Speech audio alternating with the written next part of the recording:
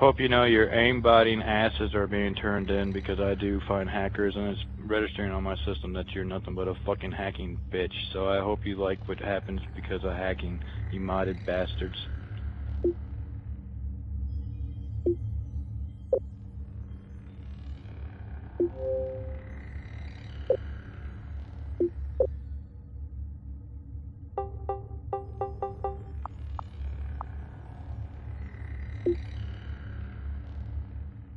Thank you.